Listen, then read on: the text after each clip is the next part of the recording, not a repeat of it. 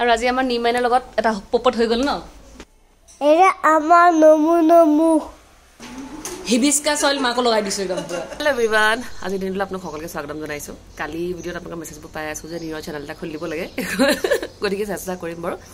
কাৰণ একচুৱেলি ময়ো নিজৰ জন্মৰ পৰা বহুত কিছুমান ভিডিঅ' কৰি থৈছোঁ। মোৰ মোবাইলটো স্পেচ শেষ হৈ গৈছেগৈ মানে হেৰি কিনি কিনি কিনি কিনি মোৰ হেৰি হৈ গৈছেগৈ।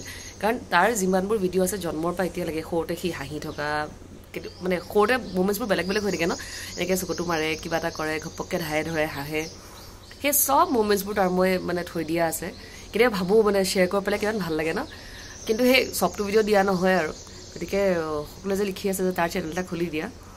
চেষ্টা কৰিম শনিবাৰে চেনেল এটা খুলি পেলাই তাৰ সেই সৰু সৰু ভিডিঅ'বোৰ বা এতিয়া সি যিবোৰ ব্লগিং কৰে বা হেৰি কৰে সেই গোটেই ভিডিঅ'জবোৰ তাত দিবৰ কাৰণে চেষ্টা কৰিম। মোৰ মনটো ভাল লাগি থাকিব ন? আৰু কালি ভিডিঅ'ত আৰু এটা কমপ্লেইন আহিছে যে ভিন্দক দেখা নাপালোঁ।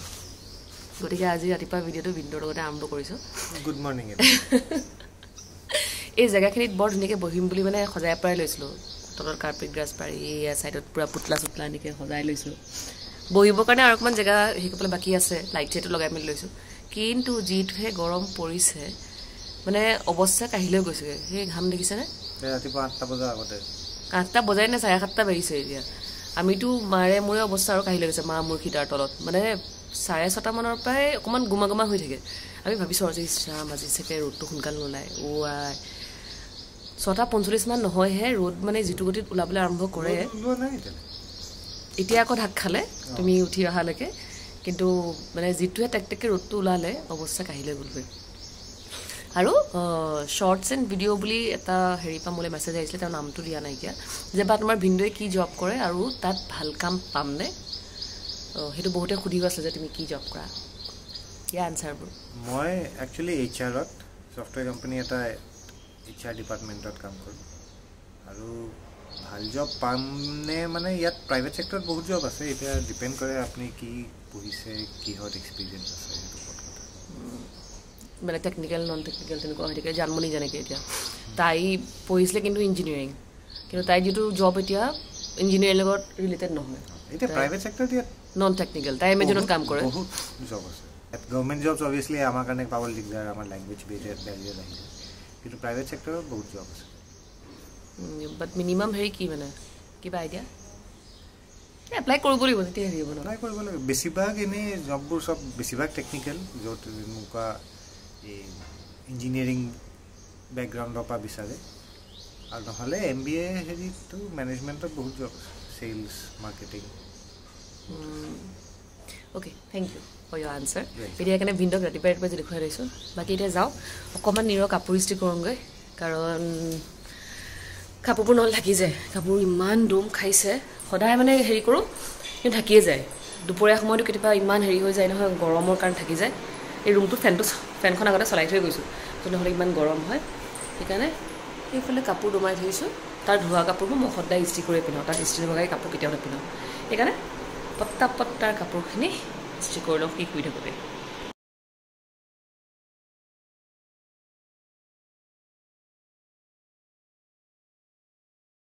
কাপোৰ ইস্ত্ৰি কৰা হৈ গ'ল। এতিয়া আহোঁ অকণমান নিজৰ কাৰণে। মোক বহুগৰাকীয়ে লিখি আছিলে মেছেজত। মানে আজি চেষ্টা কৰিছোঁ মেছেজবোৰ ৰিপ্লাই দিবৰ কাৰণে দেই। বহুত দিনৰ পৰা সুধি আছিলে বা তোমাৰ হেয়াৰ কেয়াৰ ৰুটিনটো দিবা। মই একচুৱেলি মোৰ হেয়াৰ কেয়াৰ ৰুটিন আগতেও দিছোঁ কিন্তু মেছেজটো আকৌ অহাৰ কাৰণে ভাবিলোঁ আজি যিহেতু কৰি আছোঁ। এনেকুৱা নহয় যে মই আজিহে কৰিছোঁ মই প্ৰায়ে কৰি থাকোঁ কিন্তু সদায় ৰাতিপুৱা শ্বুটিং কৰিবলৈ সময় নাথাকে। কাৰণ এই কৈছোঁ ৰাতিপুৱা উঠিয়ে যিটো আমাৰ মানে এখন ধুমুহা চলি থাকে ঘৰত সেইকাৰণে ভিডিঅ'জ কৰা ইমান সময় নহয় একদম ৰাতিপুৱা ৰাতিপুৱাই। কিন্তু আজি ইমান সময় আছে যিহেতুকে অকণমান দেৰিকৈ যাম। গতিকে আজি মই হেয়াৰ কেয়াৰ কৰিও আছোঁ ভাবিলোঁ মেছেজটোৰ ৰিপ্লাইও হৈ যাব গতিকে আজি মই হেয়াৰ কেয়াৰটো ৰুটিনটো দেখাইছোঁ। আমি আচলতে চুলিবোৰ চাবচোন চুলিবোৰ বহুত কষ্ট দিওঁ এই যে বতাহত গ'লে মেলিলে চুলিত বতাহ লাগে মই চুলিবোৰ মেলি মেলি যাওঁ। মই পৰাপক্ষত খোবা বান্ধিয়ে যাওঁ। বাৰু কিন্তু কেতিয়াবা এনেকুৱা যে পাহৰি যাওঁতে নিৰক আনিবলৈ যাওঁতে এনেকুৱা হয় অটত গুচি যাওঁ চুলিবোৰ মেলি যাওঁ। বতাহত চুলিবোৰ বহুত ডেমেজ হয়। প্লাছ আমি ষ্টাইলিং কৰোঁ ধৰি লওক ষ্ট্ৰেইটিং কৰোঁ কাৰ্ল কৰোঁ সেই হিটবোৰ লগাই আমাৰ চুলিবোৰ বহুত ডেমেজ হৈ যায়। গতিকে চুলি প্ৰপাৰ ট্ৰিটমেণ্ট লোৱাটো বহুত দৰকাৰ। আমি ঘৰত মানে এতিয়া ধৰি লওক হিবিস্কাছ আৰু কাৰী লিভছটো চুলিৰ কাৰণে বহুত ভাল বুলি শুনিছোঁ। ঘৰত ডি আই কৰি লগাব পাৰোঁ। কিন্তু ইমান সময় কাৰো ওচৰত নাথাকে। গতিকে মই গম পালোঁ মামাৰ থকা এটা প্ৰডাক্ট আনিছোঁ। য'ত আছে আপোনাৰ হিবিস্কাছ আৰু কাৰী লিভছ ই আপোনাৰ এইটো এটা অইল হয় hibiscus damage repair hair oil লগাবলৈ বৰ ভাল এইটোৰ লগত এনেকৈ আহে এখন এনেকৈ কোম আছেই ই ডেমেজ হেয়াৰটো ৰিপেয়াৰ কৰে কাৰণ ইয়াত আছে হিবিস্কাছ আৰু কাৰী লিভছ আৰু লগাবলৈও ভাল চাওক য'ত আপোনাৰ চুলি নাই মানে কমকৈ আছে মোৰ যিহেতুকে এইখিনিত আছে। ইয়াৰ কাহিনীটো মই আগতেও কৈছোঁ আপোনালোকক। আজি ক'বলৈ গ'লে বহুত দীঘলীয়া হ'ব গতিকে লগাবলৈ বৰ ভাল চুলিবোৰ গুৰিৰ পৰা একদম নাৰিছ কৰে।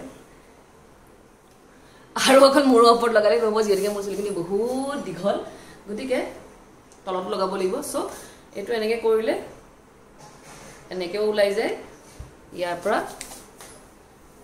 গতিকে মোৰ দীঘল চুলিখিনিত ভালকৈ লগাই মেলি লৈছোঁ।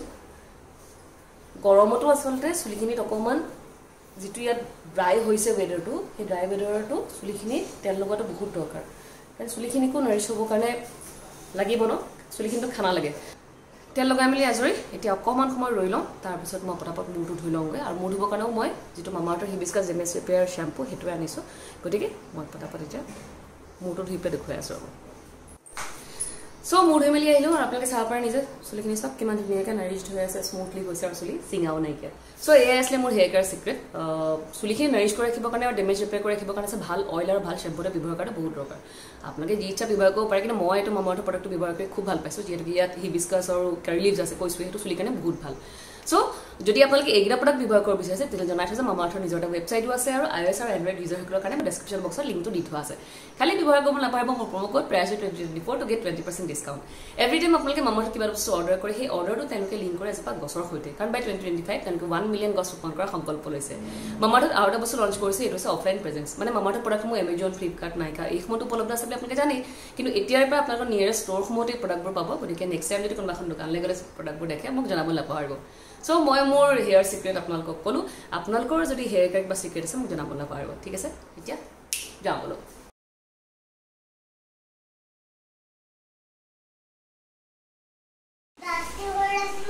কোনটো ডাৰ্টি হৈ আছে? তাৰপিছত? অঁ। খাই ল বেবীয়ে কামেই কৰা নাই। তুমি চাফা কৰিছা নেকি? তুমি ডাৰ্টিটো চাফা কৰিছা? হা? ইমান ধুনীয়াকৈ ঝাৰু মাৰিছে আৰু এতিয়া আমাৰ নিৰ্মাণে ঘৰ চাফা কৰিছে। ন ঘৰৰ ভিতৰখন সাৰিলে এতিয়া বাহিৰখন সাৰিছে। কিমান সাৰিলা? চাফা হৈ গ'ল ফুলত পানী দিলে। কিমান যে কাম কৰোঁ মোৰ বেচৰাটোৱে ইমান কাম কৰি দিছে। আৰু আজি আমাৰ নিৰ্মাণৰ লগত এটা পপত হৈ গ'ল ন। বেচেৰা ৰাতিপুৱা ইমান হেৰি কৰি স্কুললৈ নিলোঁ মেলিলোঁ আজিৰ পৰা ইমান কানা নাই সি। স্কুললৈ গ'ল মেলিলে ধুনীয়াকৈ। তাৰপিছত গৈ পেলাই গম পাইছোঁ স্কুল বন্ধ। তাৰমানে আমাৰ এতিয়া যিটো নতুন গ্ৰুপ হ'ল হোৱাটছএপ গ্ৰুপটোত আমাক এড কৰিবলৈ পাহৰি থাকিলে প্ৰিন্সিপাল মানে এড কৰা নাইকিয়া। কালি মই কথাও পাতিলোঁ মঙলবাৰে বন্ধ এতিয়া ক'লেও সেইটো কথা কিন্তু আজি যে বন্ধ ক'বলৈ পাহৰি থাকিলে গ্ৰুপটোত আহি যায় আচলতে মেছেজ এটাত আহি যায় কাৰণ হোৱাটছএপৰ এটা গ্ৰুপ থাকে। কিন্তু মোৰ গ্ৰুপটো তাহাঁতি এড কৰা নাই এতিয়ালৈকে এওঁকো এড কৰা নাই মোকো এড কৰা নাই। সেইদিনাখন পাৰ্চনেলি মেছেজ কৰিছিলে বাকীবোৰৰ কাৰণে পাৰ্চনেলি মেছেজ কৰি দিয়ে। তেওঁ চাগে পাৰ্চনেলি মেছেজ কৰিবলৈ পাহৰিলে। এতিয়া মই কালি যে গ'লোঁ মেলিলোঁ আমি তাৰপিছত দেখিছোঁ স্কুল বন্ধ। এনেই ইমান কষ্ট কৰি যোৱা হ'ল। আৰু আজি আমাৰ অটো ভৈয়াৰো অকণ প্ৰব্লেম হৈ আছিলে অটোখন কিবা ছাৰ্ভিচিঙত দিলে। তেওঁ মেছেজ কৰিছে যে বাইদেউ এনেকৈ মোৰ দেখিব আহিবলৈ হেৰি হ'ব নি? তাৰপিছত মই বোলো মই অলৰেডি নিব লৈছোঁৱে স্কুললৈ। তাৰপিছত বাইদেউ হ'ব মই বেলেগখন অট'লৈ হ'লেও আহিম। আকৌ হেৰি চেৰি হৈ গ'ল আৰু এতিয়া চব প্ৰব্লেম চল্ভ হৈ গ'ল। কাৰণ ভাবিও আছিলোঁ যদি অট'খন নাহে মই কিহত যাম কি কৰিম? স্কুলেই বন্ধ হ'ল বেচেৰা। আহি পেলাই সেইকাৰণে কামতে লাগিছে। ন কলিজাই আমাৰ পূৰা কাম কৰিছে। অ' এতিয়া কি কৰিছা আজি মায়েও তেল লগাইছে হিবিস্কাছ অইল মাকো লগাই দিছোঁ একদম পূৰা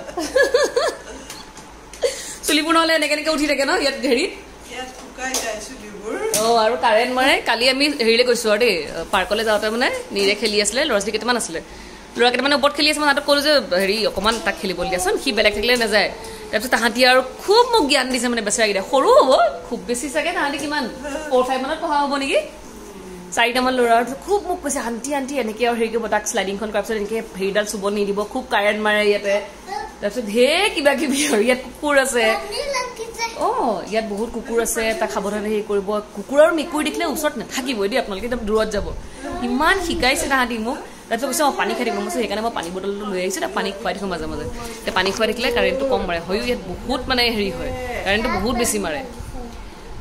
পানী খুৱাই থাকিব থাকিছে অঁ আণ্টি য়েছ য়েছ পানী খাই থাকিব আৰু হেৰি হাতখনত ক্ৰীম লগাই থাকিব। মই কৈছোঁ অঁ ঠিকে আছে বাৰু ইমান সৰু সৰু ল'ৰা ছোৱালীখিনি ইমান ধুনীয়াকৈ বুজাইছে তাহাঁতি। কালি নিৰ্মাণে দাদাবোৰৰ লগত ধুনীয়াকৈ একদম ফ্ৰেণ্ডজো কৰি আহিছে ন? কেনে দাদাই ফ্ৰেণ্ডছটো কেনেকৈ কৰিছিলে? ফ্ৰেণ্ডছ ফ্ৰেণ্ডছ ন? কালি প্ৰথম শিকিলোঁ এনেকৈ ফ্ৰেণ্ডছ বুলি কৰাটো এনেকৈ আঙুলিটো দি পেলাই আঙুলি আঙুলিয়ে লগাই পেলাই ফ্ৰেণ্ডছ বুলি কয়। আমাৰ যুগততো এইবোৰ নাছিলে বাৰু। হা? অঁ কিবা এটা হ'ল চাগে। অঁ এইটো লিক কৰিছে। এনেকৈ লোৱা কোৱা? এৰা আমাৰ নমু নমু। এৰা আমাৰ নমু নমু। আমাৰ নমু। নমু এৰা আমাৰ এই আমাৰ ফুল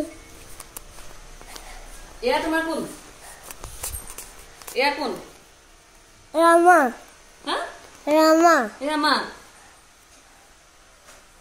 তাৰপিছত এইটো আমাৰ গাড়ী ৰেড কালাৰ গাড়ী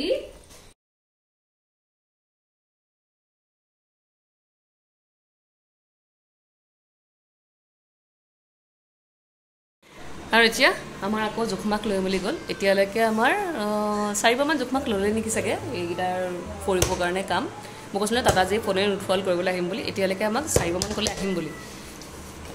আজিলৈকে গায়ব। আজি আকৌ বেলেগ এজন মানুহ আহিলে। একেবাৰে মানুহজনক সুধিছোঁ যে আহিবনে আপুনি? কৈছে আহিম বাইদেউ কিয় নাহিম মই কৈছোঁ কেতিয়া কৰিব কৈছে আজিতো নকৰোঁ বাইদেউ কাৰণ এইখিনি হেৰি চেৰি কৰি মেলি আহ, মানে মাইকা চিকা লগাবলৈ সময় লাগে ন। আমি হেৰি চেৰি কৰি মেলি কাইলৈহে আহিম।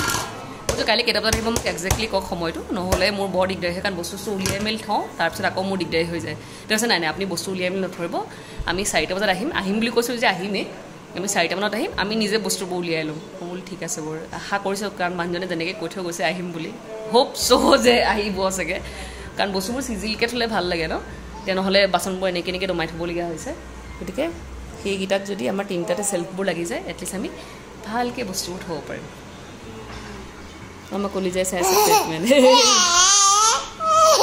কি চাই আছা তুমি